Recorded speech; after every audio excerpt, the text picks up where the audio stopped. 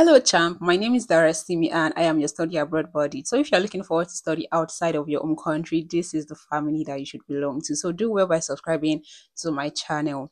Yeah, so I'm going to be making a series of video on study abroad.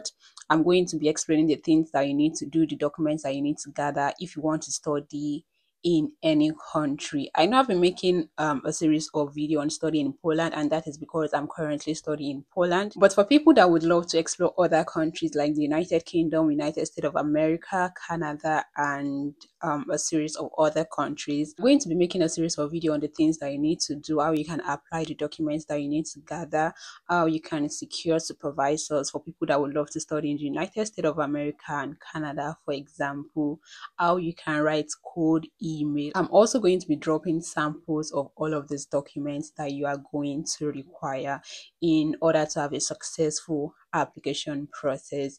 And i just want to prepare your mind. Um applying to graduate school. It's not an easy process. It is a full-time job on its own but it is possible. There are people that have gotten a lot of offers when it comes to studying abroad. And so if you are still an undergrad this is the right time for you to start um, your application process. If you're not applying yet there are still some other things that you can do while you're still an undergrad so that when you um, finally graduate from school it's going to be much easier for you because you already have like a forehand knowledge um, on how to do all of these things and if you would also love to study in Poland, if you are specific on studying in Poland, I already made a series of video right from gathering your documents, um, how to apply to universities, how you can search for universities and apply to them, the visa interview questions, documents you need to gather for your visa interview, and even the things